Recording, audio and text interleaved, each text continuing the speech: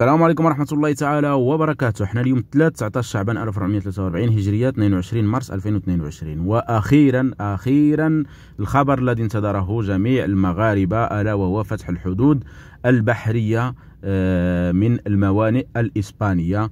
فاليوم آه، يلا دابا عاد شوية خرج واحد الخبر بأنه يعني المصالح ولا السلطات الرسمية السلطات اللي مكلفة بالمطار ديال عفوا بالميناء ديال طنجة المتوسطي ف آه، يعني تعطت له الأوامر الاستعدادات لعملية عبور 2022 وتحددت المدة كذلك ما بين يونيو وشتنبر آه الحمد لله في انتظار بطبيعة الحال آه السلطات أنها تعطي الأمر رسميا. ولكن آه في الصحيفة الأمر راه مفصل وبالضوابط ديالو وبالمصادر كذلك. فابقوا معنا باش نشوفوا الخبر مع بعضنا إن شاء الله وندخلوا في التفاصيل ديال الخبر.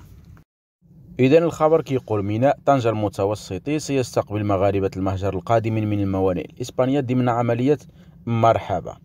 هنايا ميناء طنجة المتوسطي سيستقبل مغاربة المهجر القادمين من, من الموانئ الإسبانية ضمن عملية مرحبا حيث أكدت مصادر مسؤولة للصحيفة يعني هذه الجريدة إن إدارة الميناء طنجة المتوسطي أخبرت رسميا بداية الأسبوع الجاري بأن عملية مرحبا ستشمل موانئ الجنوب الإسباني وهي الخطوة التي تأتي بعد الانفراج الكبير في العلاقات المغربية الإسبانية والذي آه، تلا الإعلان إعلان الحكومة ديال بيدرو سانشيز الإسبانية.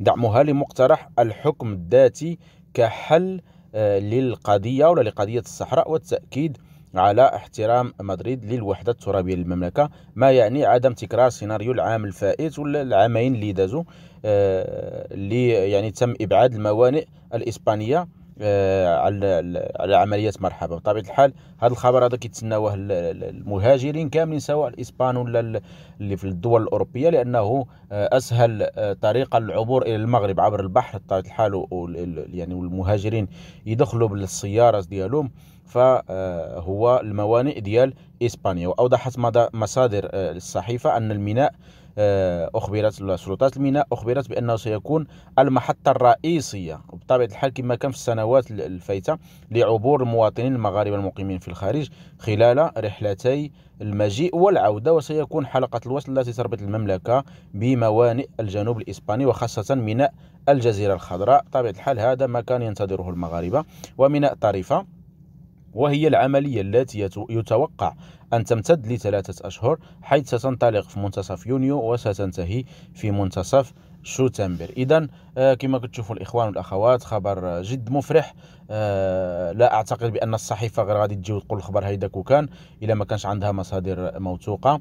آه آه الكل يعرف بأنه الآن آه يعني ما بقاش لا لم يعد يحتمل اللعب على أعصاب المغاربة المقيمين بالخارج. فإن شاء الله الرحمن الرحيم في انتظار تفاصيل أكثر ومعلومات أكثر وتوضيحات أكثر من مصادر رسمية.